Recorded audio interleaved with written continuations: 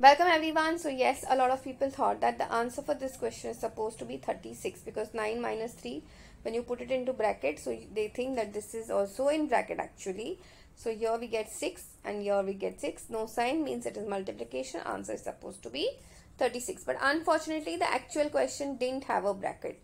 So in these cases you need to follow the rules of BODMAS or PEMDAS okay and in both the cases what happens is extreme importance is given to brackets. So first we'll keep as it is 9 as it is 3 as it is.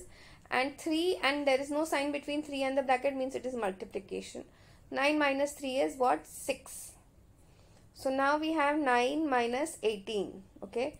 Now when you take 9 away from 18 the answer is what? 9 but since you have a negative sign with the larger number because out of 9 and 18 18 is the larger number and which is negative so here the answer will also be negative. So answer for this question is supposed to be minus 9 i hope this is very very clear to everyone. That's it for today. I will see you in the next video